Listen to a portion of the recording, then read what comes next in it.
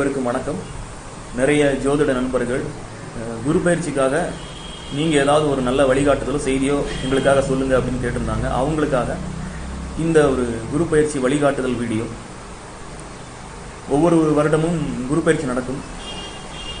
அந்த குரு பயிற்சி நடக்கும் போதெல்லாம் மக்கள் மத்தியில் நிறைய எதிர்பார்ப்புகள் இருக்கும். இந்த குரு பயிற்சி நமக்கு நன்மை செய்யக்கூடிய வாய்ப்புகள் இருக்கா அப்படிங்கிற எதிர்பார்ப்பு. பொதுவாக பனிரெண்டு ராசிகளுக்குமே இந்த குரு பயிற்சி பாதி பேருக்கு நல்லதாக இருக்கும் பாதி பேருக்கு எதிர்மறையாக இருக்கும். பொதுவாக பொதுவாக நடக்கக்கூடிய இந்த குரு பயிற்சியில் பன்னிரெண்டு ராசிகளில் பாதி ராசிகளுக்கு நல்லதும் பாதி ராசிகளுக்கு எதிர்மறையான பலன்களும் நடக்கும். அப்படி இப்போ நடக்க போகிற அந்த குரு பயிற்சி தனுசு ராசியில் வரக்கூடிய குரு பயிற்சினால் ரிஷப ராசிக்காரங்களுக்கு எட்டில் குரு மறையுது. எட்டாம் இடங்கிறது ஒரு மனிதனுடைய அவமானத்தையும் ஆயுளையும் குறிக்கக்கூடிய இடம். அவன் அடையக்கூடிய நஷ்டங்களை இழப்புகளை எதிர்பாராத இழப்புகளை குறிக்கக்கூடிய இடம் சொல்லுவான். அப்போ ரிஷபராசிக்கு எட்டில் இருக்கக்கூடிய இந்த தனுசு ராசி குரு ஏதாவது அவமானத்தையோ இல்லை எதிர்பாராத நஷ்டத்தையோ ஆபத்துகளையோ கொடுத்துருவாரா அப்படிங்கிற பயம் இருக்கும்னா அவங்க என்ன செஞ்சா இந்த பயத்திலிருந்து வெளியே வரலாம் அப்படின்னு நான் சொல்கிறேன் இப்போ நீங்கள் பார்க்குறது வந்து பாதுகை. நம்ம எல்லாருக்குமே தெரியும் பாதுகைனாலே ராம பாதுகை ஞாபகம் வரும் அப்புறம் ரங்கநாத பாதுகை ஞாபகம் வரும். இந்த பாதுகையை மையமாக வச்சு தான் இந்த ரிஷபராசிக்காரங்களுக்கு எட்டில் மறைஞ்சி போன இந்த குருவுடைய தோஷத்துக்கு ஒரு எளிமையான தன்னம்பிக்கை ஊட்டும் வழிகாட்டுதல் சொல்கிறோம் ஏன் இந்த பாதுகையை இங்கே அடையாளப்படுத்துகிறேன் அப்படின்னா ஜோதிட சாஸ்திரப்படி நாம பிறந்த லக்னம் அல்லது ராசி இங்க நம்ம ராசி மட்டும் எடுத்துப்போம் நம்ம ராசிக்கு எட்டாவது ராசி அப்படிங்கிறது எதுன்னு கேட்டீங்கன்னா நம்முடைய ஒன்பதாம் பாவத்தினுடைய விரய பாவம் நம்முடைய ஒன்பதாம் பாவத்தினுடைய கால்கள் நம்முடைய ஒன்பதாம் பாவம் யாருன்னு கேட்டீங்கன்னா நாம பிறந்த ராசிக்கு ஒன்பதாவது ராசி நம்முடைய தந்தையுடைய ஸ்தானம் நம்முடைய குரு ஸ்தானம். அப்ப அந்த குருவுடைய பன்னெண்டாம் இடம் அல்லது நம்முடைய தந்தையுடைய பன்னிரெண்டாம் இடங்கிறது நமக்கு எட்டாம் இடம். எங்கள் குருநாதர் சித்தயோகி சிவதாசன் ரவி ஐயா இது மாதிரி பாவகாரக சூட்சமங்களை எங்களுக்கு சொல்லிக் கொடுத்துருக்காரு. அந்த பாவகாரக சிந்தனை அடிப்படையில் தான் இந்த மனோதத்துவ ரீதியான ஒரு எளிமையான ஜோதிட வழிகாட்டுதல் நான் உங்களுக்கு சொல்கிறேன் நல்லா கேட்டுக்கோங்க. ரிஷபராசிக்கு எட்டில் இருக்கக்கூடிய குரு இறையருளை எப்படி கொடுப்பாருன்னு கேட்டிங்கன்னா வெளிப்படையாக கொடுக்க மாட்டார். எட்டாம் வீட்டை சம்மந்தப்படுத்தி தான் உங்களுக்கு குருவுடைய அருள் கிடைக்கும். அதை நீங்கள் ஏற்றுக்கொள்ள தயாராக இருக்கணும். எட்டாம் இடம் என்பது நம்முடைய இறை வழிபாட்டு ஸ்தானம் கடவுள் ஸ்தானம் குருஸ்தானம் தந்தை ஸ்தானம். இரவினுடைய திருப்பாதங்கள் நம்முடைய எட்டாம் இடம். இல்லது குருவுடைய திருப்பாதங்கள் நம்முடைய எட்டாம் இடம். தந்தையினுடைய திருப்பாதங்கள் நம்முடைய எட்டாம் இடம். அப்போ இந்த கோச்சார குரு ரிஷபராசிக்காரங்களுக்குலாம் என்ன சொல்றாருன்னா குருவாகிய புனிதமானிய ஒரு இறை சக்தி எட்டாம் இடத்துல போய் மறைஞ்சு இருக்குது. அந்த எட்டாம் இடம் எங்கே இருக்கிறதுன்னா நம்முடைய குருவுடைய பாதம் தந்தையுடைய பாதம் இறைவனுடைய திருவடியில் இருக்குது அதனால இந்த ரிஷபராசிக்காரங்கள் எல்லாருமே இந்த ஒரு வருட குரு- குரு சஞ்சார காலகட்டத்தில் ரிஷபத்துக்கு எட்டுல குரு சஞ்சரிக்கக்கூடிய இந்த காலகட்டங்களில் முடிஞ்ச வரைக்கும் உங்களுடைய தந்தையுடைய பாதங்களுக்கு மரியாதை கொடுங்க. தந்தைக்கு குறைந்தபட்சம் வாரம் ஒரு நாளாவது வியாழக்கிழமை தோறும் பாத பூஜை பண்ணுங்க. அப்படி செஞ்சிட்டீங்கன்னா நீங்க எட்டுல இருக்க குருவால் வரக்கூடிய அவமானத்தை ஏற்றுக்கொண்டீர்கள் என்று அர்த்தம். யாருக்கு அந்த பயம் இருக்கோ? எட்டுல குரு எனக்கு அவமானத்தை கொடுத்துருவாரு அப்படின்றது. நல்லா யோசிச்சு பாருங்க. ஒரு மனுஷனை அவமானப்படுத்தணும் அப்படின்னா பல பேர் பார்க்க நீ வந்து என் காலில் விழுந்து மன்னிப்பு கேட்கணும்னு சொல்றது தான் உச்சகட்டம்.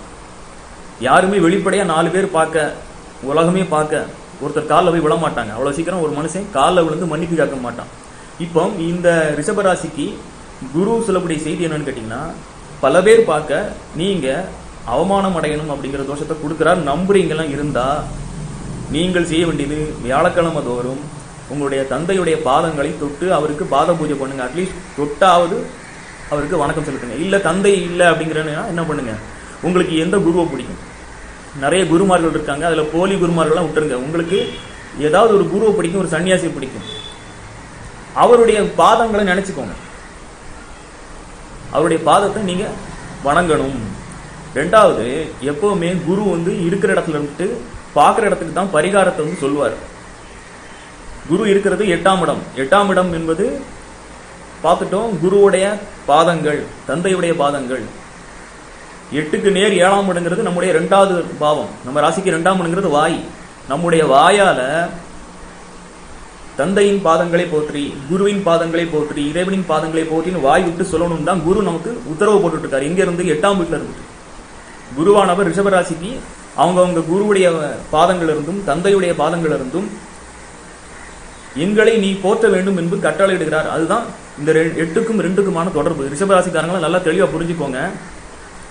உங்களுக்கு எட்டில் இருக்கக்கூடிய குரு வந்து பல பேர் பார்க்க ஒரு அவமானத்தை உங்களுக்கு கொடுக்கணும்னா நீங்கள் நாலு பேர்ட்ட மன்னிப்புக்கிறது அவமானமான செயல். அதையே நீங்கள் உங்களுடைய தந்தைக்கும் உங்களுடைய குருவுக்கும் உங்களுடைய வாய் வார்த்தைகளாலும் உங்களுடைய செயல்களாலும் வணக்கம் செலுத்திட்டீங்க அப்படின்னா உங்களுக்கு அது அவமானமாக வராது. குரு எதை கொடுக்கணும்னு இருக்காரோ அதை நீங்கள் ஏற்றுக்கொண்டீர்கள் என்றால் இந்த எட்டாம் இடத்து குருவால் உங்களுக்கு எந்த அவமானமும் வராது அப்படின்னு உறுதியாக நீங்க நம்பலாம். இது ஜோதிடத்தில் இருக்கிற மறைபொருள் சூட்சுமம். அதே மாதிரி எங்களுக்கு வந்து கோயில் வழிபாடு ஏதாவது சொல்லுங்க சார். நாங்கள் வந்து நிறைய ஆன்மீகமாக வளர்ந்துட்டோம் அப்படின்னு கேட்டிங்கன்னா எட்டாம் இடம் என்பது கழிவுகள் வெளியேறக்கூடிய இடம். கழிவறை அசிங்கத்தை மலத்தை குறிக்கின்ற இடம். அப்போ மலத்தை குறிக்கின்ற ஒரு இடத்துல போய் குரு உட்கார்ந்துருக்காரு. அப்ப இந்த இடத்துல எப்படி சார் நான் சாமி கும்பிடுறது அப்படின்னு நீங்க நினைப்பீங்க? குருங்கிறது இறையருள்.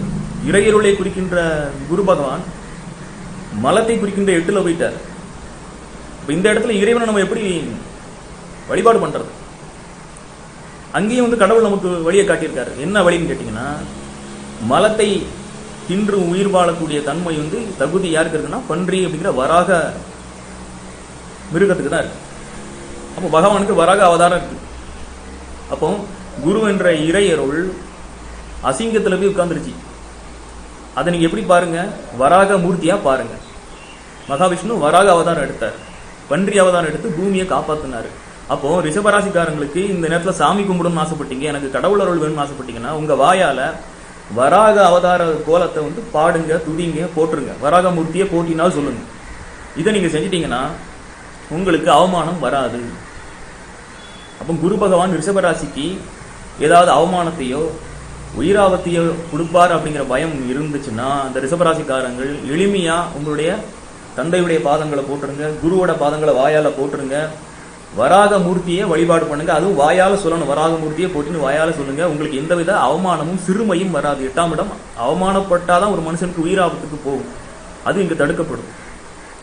அதனால் நீங்க ரிஷபராசிக்காரங்க ஒரு எளிமையான ஜோதிட வழிகாட்டுதல் பரிகாரமா இதை கடைபிடிங்க. சிலருக்கு வந்து இதெல்லாம் எதுவுமே எனக்கு செய்ய முடியாதுன்னு சூழ்நிலை வந்து வெளிநாட்டில் இருக்கேன் அப்படின்னு நினைச்சீங்கன்னா கூட வாயால் சொல்றதுக்கு நீங்க எங்க இருந்தாலும் சொல்லலாம் பிரச்சனை கிடையாது.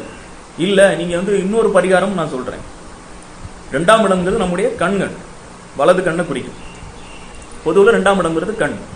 நீங்கள் காலையில் முழிச்ச உடனே உங்களுக்கு விருப்பமான குருவுடைய பாதங்களுடைய ஃபோட்டோவை எடுத்து உங்கள் படுக்கறையில் வச்சுக்கோங்க. முழிச்ச உடனே குருவுடைய திருவடிகளை நீங்கள் பார்த்து விட்டால் எட்டில் இருக்கின்ற இந்த குருவுடைய தோஷம் உங்களுக்கு நிவர்த்தி ஆயிரும்.